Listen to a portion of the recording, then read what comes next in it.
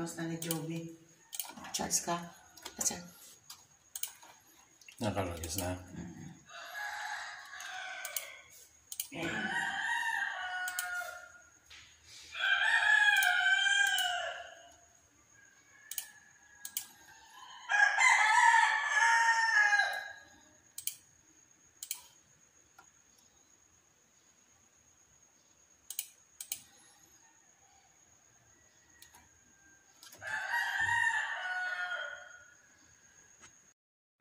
So, that's it guys. Sana po ay naibigan ninyo ang ating feature na ah, video ngayon.